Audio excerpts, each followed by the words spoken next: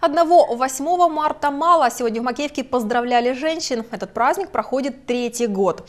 Каждый раз организаторы уделяют внимание представительницам разных профессий. В этом году отметили творческих женщин – поэтесс, бардов, художниц и рукодельниц.